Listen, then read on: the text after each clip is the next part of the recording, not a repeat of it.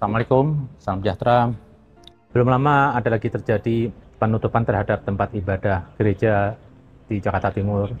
Ya, alhamdulillah berkat suara netizen bisa dibuka kembali. Terus setelah itu ada lagi diskriminasi kuburan. Katanya non-Islam beda biaya dengan Islam. Itu kan bentuk mencederai NKRI itu. Janganlah negeri ini cuma dipecah-pecah manusianya karena beda agama mau negeri ini bukan negeri agama. Negeri ini mengayomi lebih dari satu agama. Seharusnya sudut pandang kita, hidup kita, pergaulan kita sehari-hari itu tidak boleh melihat perbedaan agama. Apalagi memandang agama selainnya itu kafir. Kalau emang memandang selain kafir berarti nggak benar dong. Ada mengakui lebih dari satu agama. Silakanlah membangun keyakinan masing-masing tanpa perlu memandang selainnya kafir. Dan itu pun juga di agama dianjurkan. Jadi problem gesekan umat beragama ini karena apa? Kesalahan memahami agama. Kesalahan memahami iman. Masing-masing memandang agama selainnya itu kafir. Itu salah. Maaf. Sebelum ada agama Kristen sudah ada agama Yahudi. Sebelum agama Islam juga sudah ada agama Nasrani, kitab Yesus. Jadi bukan berganti nabi itu mengalahkan ajaran sebelumnya atau menggugurkan. Ini namanya idol itu. Masa Tuhan bikin idol? Yang gugur kalah dari runner up juara kedua, juara satu. Berarti Tuhan pernah juara ketiga kan nggak mungkin. Semua kitab Tuhan itu sempurna di sisi Tuhan dan nilainya sama. Jadi berganti nabi dari Musa ke Yesus atau ke Muhammad ini semua ada. Jadi nggak perlu mengatakan saya yang terakhir. Karena apa? Ada agama sebelumnya. Begitupun yang merasa awal, nggak perlu masa awal. Karena apa? Ada juga agama Kristen, juga ada agama Islam. Jadi biarkan masing-masing itu berjalan. Kita perlu merubah paradigma kita itu apa? Memandang agama selain itu kafir. Bagi saya itu kafir apa?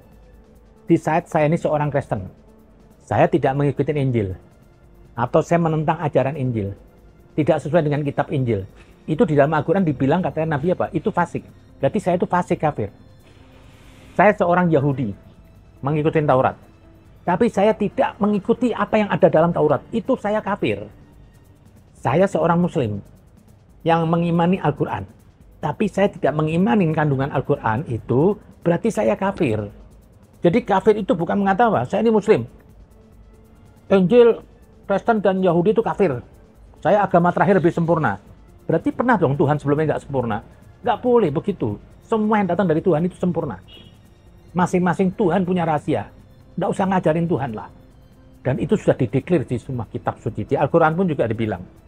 Jadi saya pikir begini loh, kita ini tidak usahlah meng menguasai Tuhan, memagari Tuhan, tidak usahlah.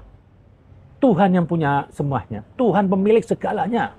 Jadi kita nggak usah, oh ini Tuhan saya, nggak usah lah Tuhan saya, Tuhan kita semua lah. Nggak usah klaim-klaim Tuhan Islam lebih hebat atau Tuhan yang lain lebih hebat, enggak. Itu pun, jadi saya pikir seperti inilah.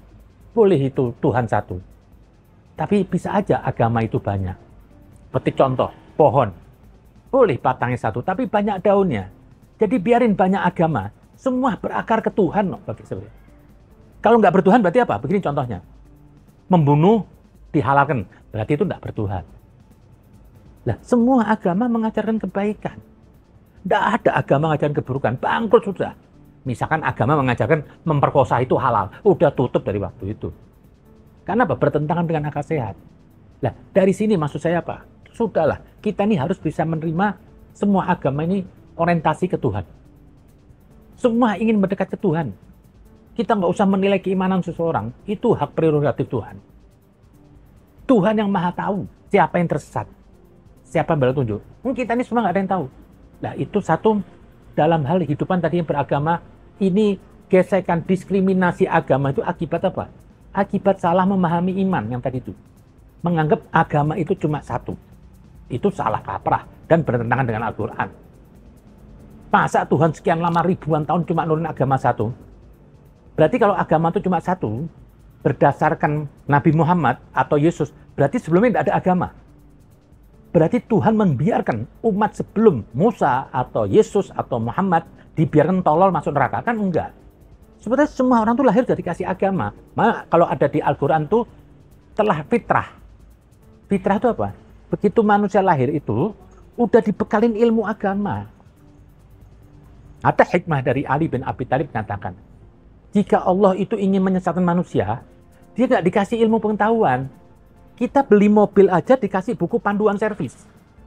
Masa Allah yang maha sempurna, yang maha hebat, ciptain manusia koplong. Nggak dikasih chip agama. Ya tabrak-nabrak tembok. Tanpa harus tahu agama, tanpa ada agama saya tahu membunuh itu dosa. Tanpa perlu ada agama saya tahu mencuri barang orang itu dosa. Karena saya merasakan kalau barang saya dicuri saya sakit hati. Berarti kalau saya mencuri barang orang, saya dosa. Itu semua udah tahu. Orang bisa hidup tanpa agama, tapi orang nggak bisa hidup tanpa kasih sayang. Jadi nggak usah, maksud saya apa? Bikin agama itu yang enak aja lah. Agama itu private, agama itu seperti kelamin. Nggak usah kita tunjukin orang kelamin saya untuk nunjukin saya itu orang pria. Cukup buat diri saya agama. Nggak perlu saya ngadilin orang-orang lain. Nggak usah saya kasih-kasih merek. Saya tuh kadang-kadang sedih. Ada rumah sakit agama, rumah sakit Islam, rumah sakit Kristen. Ada lagi malah universitas. Ini pendidikan tinggi, tapi masih bawa embel-embel agama. Universitas Islam, Universitas Kristen. Lah ini apa lagi? Kok agama jadi memilah-milah gini loh? Agama itu bagi saya pribadi. Belum sampai di situ Kuburan pun juga dipisahkan. Ada kuburan Islam, ada kuburan Kristen. Padahal agama itu alat.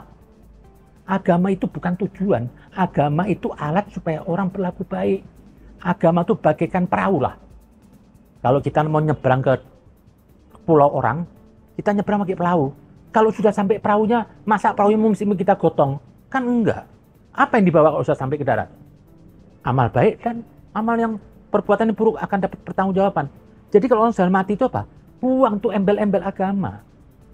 Karena apa? Yang mau dibawa itu amalnya. Satukanlah kita. Masa Tuhan mau diatur, kuburan dipisahin. Saya itu sedih aja lihat. Kok segini tuh agama? Gara-gara agama memisahkan Tuhan. Bagi saya apa? Kalau emang itu agama dari Tuhan, harusnya apa? Menyatukan semua manusia. Kalau agama hanya memilah-milah orang, oh saya ini muslim, saya mau ngasih untuk orang Islam saja. Oh, nanti Kristen untuk Kristen aja. Ini apa bedanya sama partai?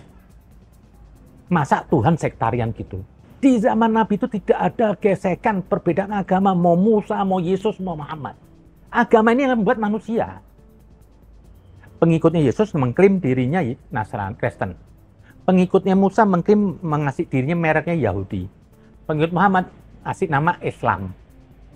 Belum itu nanti masih ada lagi pecah lagi Yahudi pecah aliran, Kristen bisa nanti Protestan ini, Islam ada nanti Sunis. Ini semua merek yang ngasih manusia aja. Yang manusia dengan memahami, oh saya ini sepakat nih, saya memberi kelompok ini. Padahal Musa, Yesus atau Muhammad itu tidak menurunkan merek. Mana mungkin masuk Tuhan bermerek? Kan Musa, Yesus, Muhammad itu kan representasi Tuhan. Tuhan di alam materi. Makanya diperintahkan mutlak para orang tiga orang ini apa? Punya kuasa Tuhan. Bisa kun fayakun. Kenapa? Dia punya kehendak-kehendak Tuhan. Mana mungkin Tuhan ngasih merek Yahudi, ngasih merek Kristen, ngasih merek Islam. Ya berarti Tuhannya sektarian dong. Masa Tuhan dimerekin nama ciptanya sendiri. Jadi agama ini, penamaan agama itu dari manusia pengikut setelah adanya pengusung agama tadi itu. Musa, Yesus, Nabi Muhammad, atau Hindu, Buddha yang lainnya. Baiknya buat negara itu untuk mengantisipasi hal yang kayak begini gimana ya? Saya pikir ini tugasnya Menteri Agama. Perlu duduk semuanya lah. Ini pemangku penguasa-penguasa agama. Kita duduk bersatu lah. Sudahlah, kita nggak usah rebutan umat lah. Kita cari titik temu ini. Agama itu bagi saya gini loh. Seperti rumah makan Padang lah. Di situ ada rendang, ada kikil, ada ayam. Biarin orang yang milih nggak usah kita diskriminasi. Karena saya suka rendang, saya nyalahin orang makan ayam. Itu nggak bener. Karena saya suka ayam, nggak boleh nyalahin orang makan kikil. Itu biarin selera masing-masing. Wong Tuhan yang ngasih hidangan lebih dari satu. Masa saya mau masakan, ayo semua makan rendang kan? Itu nggak boleh. Inilah ke agama Tuhan. Kalau emang Tuhan itu cuma mau ngasih satu, nggak nurunin rasul-rasul. Langsung ya, to the point. Betul agak dunia, dus. Nabinya misalkan Yesus atau Muhammad, nggak ada lagi, cuma satu. Kan enggak ada banyak dari Nabi Adam, dari Nabi Nuh, Nabi Ibrahim yang diakui semua agama, ada Musa, ada Isa, ada Muhammad. Tuhan ngasih itu. Supaya apa? Supaya ada perbedaan. Kalau nggak ada perbedaan, hidup mana ada yang enak? Ini perbedaannya supaya diminta apa? Supaya berlomba. Jadi semua agama bagi saya, selama dia mengikuti kitab Tuhan, ya dia baik. Kok masih ada kitab yang baik? Perlu kita duduk. Kenapa? Selama kita masih memandang selain itu kafir, dan kafir harus serang, ini negeri akan ganggu terus. Besok saya tuh takut. Oh, di sebelah ada gereja. Ayo kita hancurin yuk. Begitupun juga yang Kristen. Ada di tempat Kristen juga begitu. Orang membuat masjid tidak dikasih. Karena mayoritas Kristen punya sifat curiga. Harusnya biarin aja. Besok ada gereja jadi, saya umat Islam ikut membantu, membangun. Atau punya kalau ada acara Natal saya juga datang. Enggak kafir. Siapa yang bilang katanya kalau ngikutin acara itu kafir? Siapa yang bilang kafir mengikuti acara agama lain itu kafir? Tidak ada. Berarti Tuhan mengkafirkan dong agama. Misalnya saya mendatangi Natal, Tuhan mengkafirin ajaran Yesus. Enggak ada. Itu karena apa? Itu bahasa agama permusuhan aja tuh dari manusia. Tidak ada Nabi bilang Natalan haram. Kalau emang Natal haram, Nabi membuat riwayat. Karena sebelum ada Nabi Muhammad ada Natal, ada Paskah, ada agama Yahudi, tidak ada riwayat. Nah itu loh maksud saya, perlu kita nih duduk. Sudah, ini jalan menuju Tuhan itu sebanyak hembusan nafas manusia. Jadi kalau ada orang berbeda dengan saya itu bukan berarti mereka itu sesat. Masa Tuhan segede Tuhan pencipta alam cuma buat jalan tol satu? Kan lemah betul. Harus banyak jalan, biarin aja. Seperti maaf, orang menuju ke Ka'bah, ke Mekah. Ada yang dari Yaman, ada yang dari Persia, ada yang dari Afrika semua menuju ke sana. Kita nggak usah nyalakan jalan orang ke mana pun. Biarin Tuhan yang punya nilai. Bagi saya mau mereknya agama apa pun, yang penting apa kasih. Kalau nggak kasih, ngapain Anda beragama? Kalau Anda tidak bisa beragama dengan cinta, tapi dengan kebencian, lebih baik Anda nggak usah beragama. Itu. Seperti halnya, saya, karena saya muslim, saya coba ingin menggunakan dalil Al-Quran bahwasanya Tuhan itu tidak memaksa agama, satu agama. Tidak ada paksaan dalam agama itu filosofinya apa? Tuhan memberi lebih dari satu agama. Kalau agama itu cuma satu, Tuhan akan ngomong. Nggak, Tuhan tuh nggak boleh berkilah-kilah atau kemungkinan nggak boleh. Tuhan tuh harus saklek. Kalau emang agama yang benar cuma satu, Tuhan bilang gini. Agama cuma satu, yang lain sesat. Tapi kalau di situ bilang tidak ada paksaan bagi agama, jadi Tuhan membuka ruang ada agama selain. Jangan Anda memasang agama Anda ke orang lain. Karena agama orang lain juga benar di mata Allah.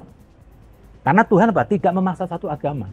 Itu bukan ada ayatnya di surat Al-Maidah 48. Tuhan bilang waktu menurun Al-Quran apa? Membenarkan kitab-kitab sebelumnya.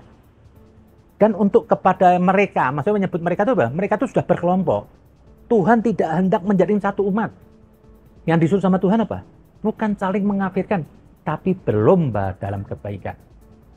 Di satu ayat lagi mengatakan waktu Rasulullah mendemui orang-orang Nasrani orang-orang Kristen. Hei pengikut Injil, kamu wajib mentaatin yang apa yang ada di dalam Injil itu. Itu maksud ayatnya.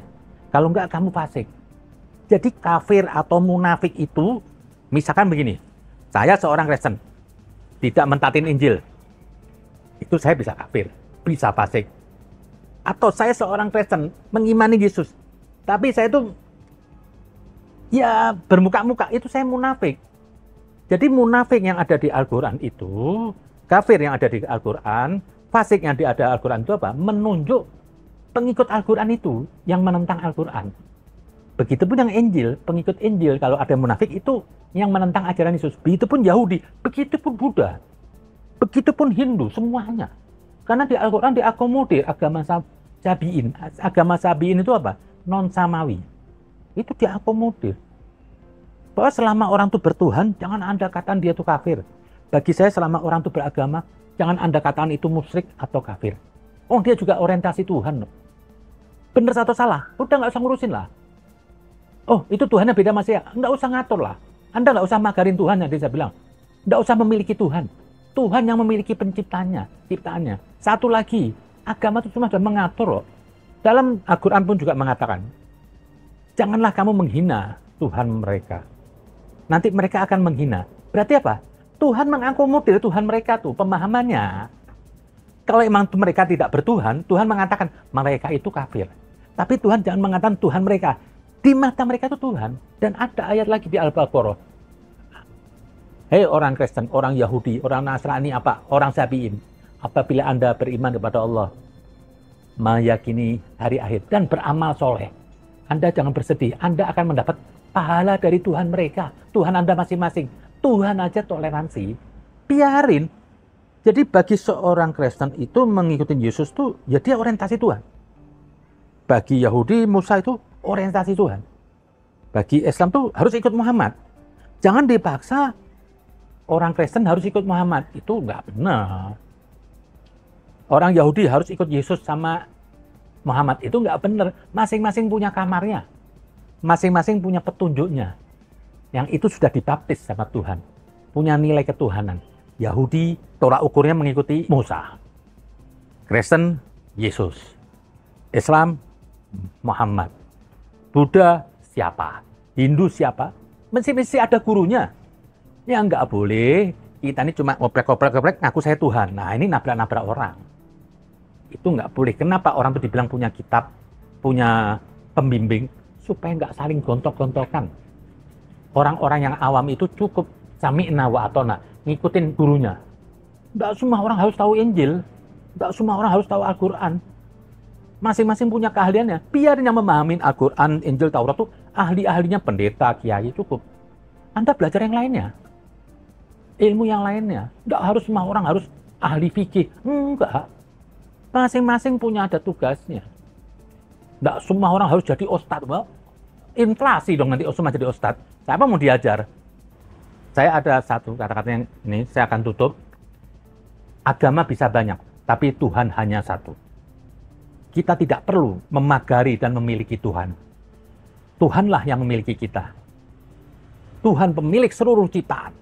Bila hanya ada satu Tuhan, tidaklah seharusnya hanya ada satu agama. Sebatang pohon banyak daunnya. Ada banyak agama, tapi semua berakar kepada Tuhan. Semua akan kembali kepada Tuhan yang satu. Terima kasih.